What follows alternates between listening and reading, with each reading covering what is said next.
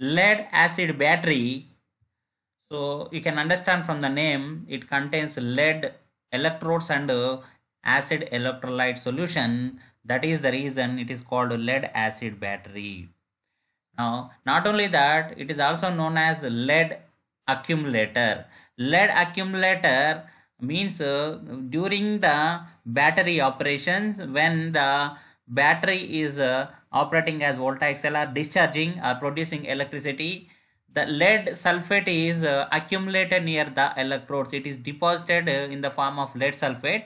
So it is also called as a lead accumulator. Now let us see the construction of this battery. In this battery electrodes are made of uh, lead grids. So lead grids uh, like uh, mesh uh, wire gauge or mesh uh, or baskets are there. So these lead grids are filled with the spongy lead and lead dioxide so anode lead grid is filled with the spongy lead or lead grid. So lead is uh, anode in the lead acid battery and cathode lead grid is filled with the lead dioxide paste or spongy lead dioxide. So cathode is uh, lead dioxide in this battery. And uh, electrolyte used is generally sulfuric acid. So acid so it varies the concentration varies from about 20 to 25 percent uh, depending on the requirement. And uh, the density of this uh, 20 percent when density is uh, 1.21 to 1.3 grams per ml. Now we can represent this battery with uh, lead lead sulfate sulfuric acid lead sulfate lead dioxide lead. So this is a cell representation and voltage of one battery is about uh, 2 volts. So here you can see there is one separator. So this separator may be made of some polymer polymer or um, cellophane tape like that or teflon or any wood uh, separator will be there and uh, it separates uh, both anode and cathode and uh, the acid is in contact with both the electrodes. Now the, a single battery is producing a net emf of 2 volts. If we take a car battery car battery consists of total 6 uh, cells such cells so they are connected in a series so the net uh, voltage of the battery is 12 volts. Here you can see these are the lead lead dioxide grids which are in red color. This is color.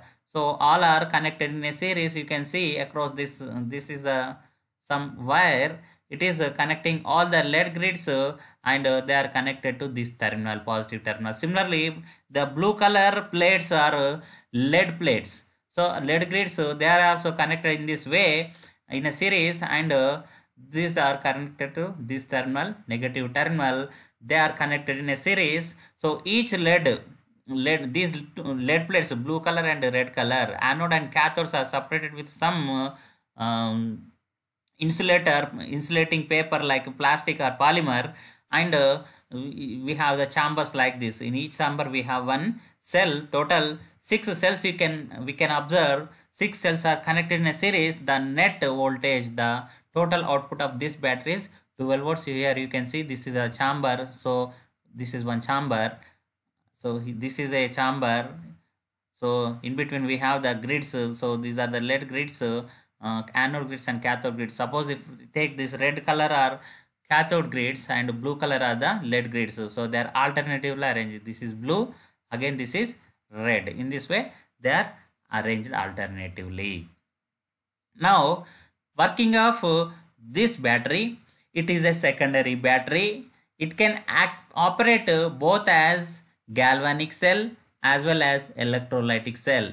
When the cell is producing electricity that means uh, when it is discharging it uh, operates as a voltaic cell or galvanic cell. Now here during the discharging anode lead. That is uh, the spongy lead anode undergo oxidation by releasing the two electrons. So lead in zero oxidation state is converted to plus 2 oxidation state. Now so this lead uh, 2 plus uh, combines with sulfate and will be deposited as lead sulfate near the anode. We can observe the deposition of the lead sulfate near the anode in this way So uh, com- by combining two reactions, I can write uh, lead plus uh, sulfate uh, giving rise to lead sulfate plus two electrons. This is the anodic reaction during the discharging. Similarly, cathode near cathode lead dioxide cathode we have so this lead dioxide uh, involves the reduction reaction so the lead uh, in this lead dioxide is in plus 4 oxidation state plus 4 oxidation state in this way so that is converted to plus 2 oxidation state means two electrons are taken by the lead and converted into lead 2 plus in presence of the acid H plus ions. So, and also it is producing 2 moles of the water molecule and this released lead.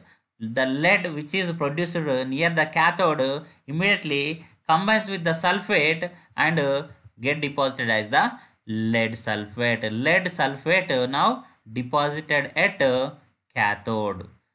So, you can understand now at both the electrodes lead sulfate is deposited at both the electrodes, lead sulfate is deposited even for uh, oxidation reaction at anode and uh, reduction reaction at cathode. Both the reactions uh, yield lead sulfate which is accumulated near the respective electrodes.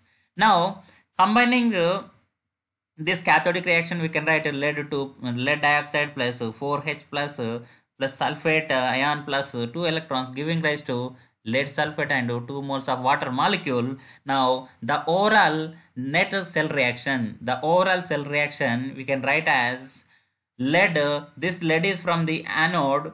So here this lead which is from here and lead dioxide this is from the cathode means from this equation I am combining and 4H plus this is a 4H plus uh, which is from the cathodic reaction and two sulfates. So two sulfates uh, one sulfate from anode and one sulfate from the cathode reaction. So two sulfates uh, so combinedly we can write as 2H2SO4 also. Instead of writing 4H plus plus 2SO4 2 minus we can write as 2H2SO4 which is giving rise to 2 moles of lead sulfate. So these 2 moles of lead sulfate one is from the cathodic reaction and uh, the second one is from the anodic reaction. So 2 moles of uh, lead sulfate uh, obtained and 2 moles of water from the cathodic reaction and energy is produced. This energy is nothing but electrical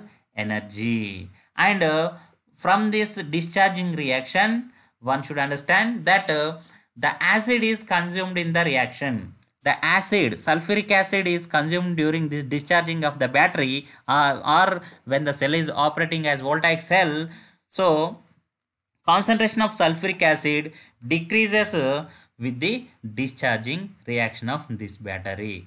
Now when the battery is exhausted again we can recharge it uh, by connecting to the external source of emf whose EMF is infinitesimally greater than this battery and uh, now the cell operates like a electrolytic cell during the charging. Now, so exactly whatever the reactions, the, uh, the discharging reactions uh, occurred, they must be reversed in the same direction during the charging so that it is called as a rechargeable battery. Now, near cathode.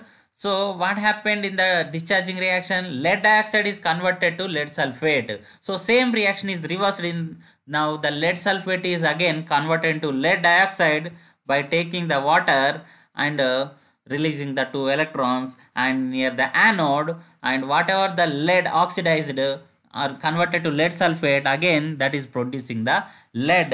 And uh, we can write that net cell reaction in reverse direction mm. Energy plus 2 lead sulfate plus 2 H2O which is producing the lead, lead dioxide and 2 moles of sulfuric acid. In this way we can write the charging reaction. So it is a this lead battery lead acid battery is a secondary battery we can use it through number of discharging and charging cycles. Now come to the advantages. The main advantage is it is highly efficient. The voltage efficiency of this battery is about 80%. 80% efficient and this voltage efficiency calculated by using this formula average voltage during discharging and uh, by average voltage uh, during charging so this formula gives the uh, voltage efficiency and about 80% voltage efficiency we can observe in case of this uh, lead acid battery. And not only that uh, it has a good service for several years. It provides uh, more service about some 20 to 30 years with a good maintenance. So when we carefully attend this battery definitely it gives a so its lifetime goes to about 20 to 30 years of service. Now um, and not only that it can be charged. So approximately uh, it range this charging ranges from 300 to 1500 times we can uh, cha- charge it. So discharging and charging cycles uh, about 300 to 1500 uh, we can uh, observe depending on the battery design and conditions. And when we check the self discharging the self discharging is a very low for this battery. So very low self discharging it owns. So that is the main advantage of the battery. And also the time taken for recharging process is very less. The length of time is very less for the recharging process. And uh, it shows very low environmental impact. Uh, the materials used in uh, battery are uh, not uh, causing any harm to the environment and uh, it has sensitivity to rough handling and good safety characteristics. So that is the reason it is also used in the automobiles. And uh, not only that easy of servicing. So as indicated by several local battery service points so uh, in any battery service point uh, so almost uh, it, uh, all the battery mechanics so they can service this battery easily it is a low cost battery. So with facil- with facilities for manufacture throughout the world using cheaper material. And uh, limitations. So self discharging though the self discharging is less uh, so here this self discharging is uh, subjected with uh, these two reactions hydrogen evolution and uh, absorption of the oxygen. You can see hydrogen evolution and absorption of oxygen. Hydrogen is re- re- released near the cathode and oxygen is released near the anode during the self discharge so here lead uh, reacts with the sulfuric acid to produce the H2 near the cathode. So H2 gas is released here in this way. So generally we indicate the gases with upper arrow. And similarly lead dioxide also react with the acid to produce the oxygen gas near the anode. So in this way you can I'm writing the upper arrow. Now the sulfates uh, which are left in that uh, battery uh, so after consumption of the acid so that will combine with the acid ions protons uh, produced from the dissociation of water so water also dissociated here converted to sulfuric acid. In this way water is dissociated during this self discharge so that causes loss of water also. So this water is evaporated during the self discharging process. And not only that electrolysis of water while charging. So when we put the charging uh, water may likely to undergo the electrolysis process. So it reduces the water. So we must maintain the water content uh, and monitor the water content regularly. So and uh, when it is less so we must fill with the fill it with the distilled water. Next uh, one more uh, the main disadvantage corrosion of the lead grades. So corrosion of the lead grades uh, it is a acidic environment we are maintaining. So this it can uh, the um, uh, due to overcharging when grid metal gets exposed to the electrolyte which weakens the grid and increases the internal resistance of the battery so that lead grid become weak lead is grid is oxidized damaged that weakens the grid. uh, so the internal resistance of the battery also decreases and uh, effective effectiveness of battery is reduced at low temperature due to increase in the viscosity of electrolyte this uh, we can uh, observe in the cold countries or cold climates uh, generally uh, to start engine this lead acid batteries um, since uh, electrolyte is uh, liquid so when viscosity is uh, in cold countries viscosity is more so uh, general we call it as a breakdown. So car cannot be started. So we need to heat it for proper temperature so that we can start the engine. So this is the uh, one more drawback at low temperature. So effectiveness of this battery is reduced. And applications it is uh, widely used uh, in automobiles to start the automobile engines or uh, uh, you can take internal combustion engine or diesel engine and not only that uh, locomotives. So locomotives means a train engine. And not only that it can be used as a standby or backup or emergency power supply. So emergency power supply in hospitals industries even at uh, domestic purpose the ups systems are used uh, used in submarines for electrical supply. And ups uh, uninterrupted power supplies you can see which are connected to the computers or uh, in the companies software companies are a grid a, a group of computers uh, collectively they are connected to one big UPS so that uh, the work is uninterrupted during when we are working on the computers. And not only that for lighting lighting emergency lighting purpose or lighting purpose uh, uh, at the night times and high current drain applications like trains so in the such places the this lead acid battery is uh, more suitable. It is the most used battery and most successful battery which is used used throughout the world. Thank you